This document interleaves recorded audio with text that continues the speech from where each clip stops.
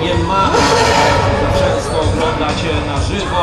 Po raz czwarty w karierze Roberta widzimy bolidu Formuły 1 w Polsce. Jak widzimy taki wehikuł, proszę Państwa, nawet w rękach takiego mistrza jak Robert, bo to przecież prawdziwy mistrz kierownicy też potrafi przysparzać spore kłopoty. Tym bardziej, że e, Robert jest absolutnie świadomym kierowcą, znakomitym kierowcą, potrafi jeździć na milimetry, na centymetry, ale zdaje sobie również sprawę z niebezpieczeństw, niosą samochody motorowe. Niemniej zdecydowanie dostarczy